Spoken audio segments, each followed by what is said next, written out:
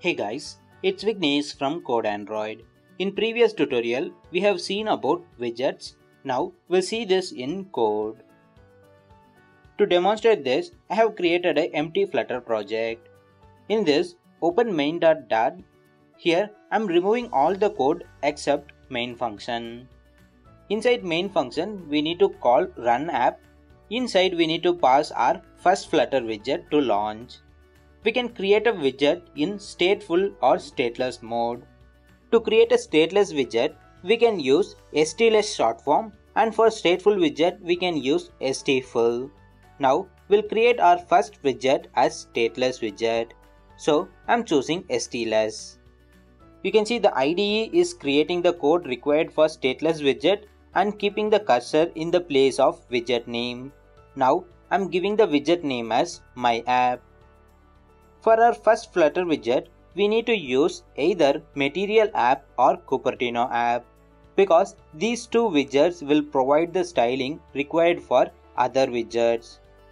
Material app will give Material UI to all the widgets which is designed for all the platforms like Android, web, even iOS. But when we use Cupertino app, all the inner widgets follow iOS UI, so it will be suitable only for iOS projects. In this example, I'm going to use Material app. Inside the Material app, we can set primary color using theme attribute.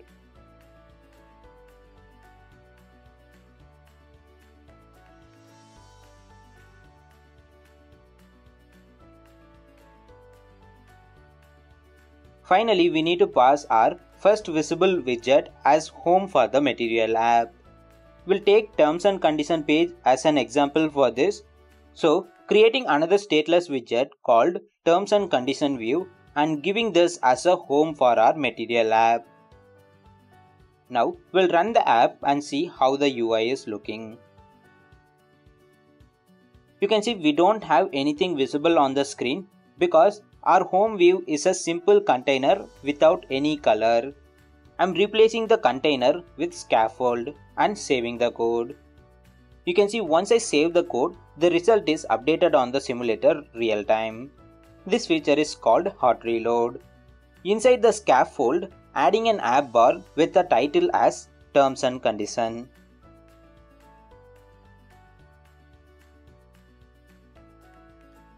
Now to add the content, we need to use body attribute. As usual, adding the lorem ipsum content as the body. We got the text but I'm not able to scroll it. To make it scrollable, wrapping this text with another widget called single child scroll view. The single child scroll view allows the child to scroll.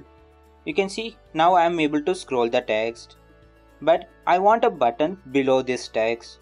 So wrapping this text with column widget which keeps all its childrens one below another.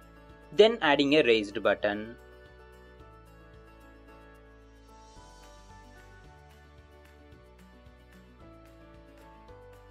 Now we got the button but the button is not visible always to the user.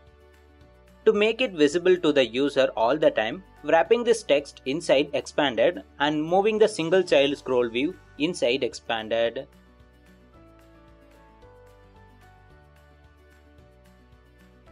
Finally, changing the button color and text color.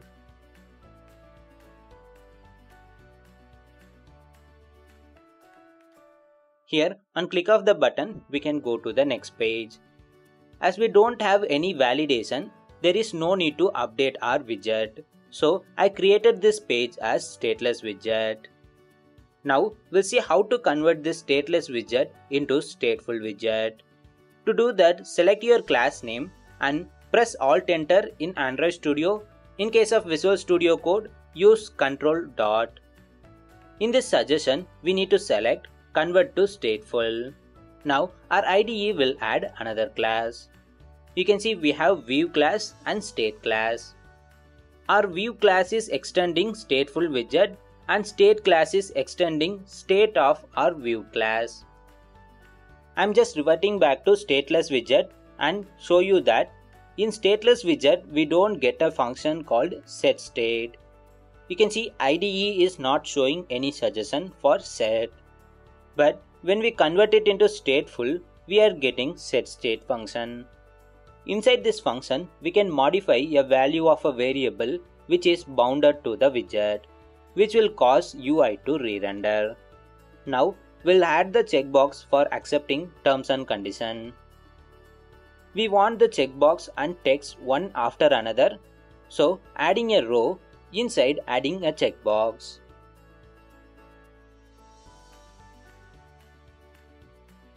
For the checkbox, adding onChanged listener and creating a boolean variable and binding with the value parameter.